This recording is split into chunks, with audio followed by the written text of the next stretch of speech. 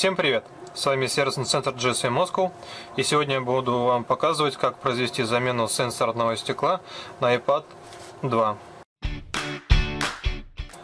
Для начала нужно прогреть корпус и стекло и снять стекло.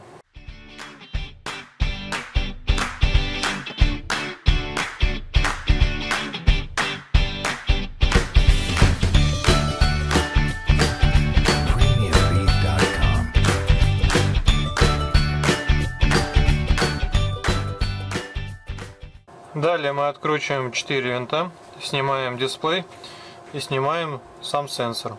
Не забываем про кнопку Home.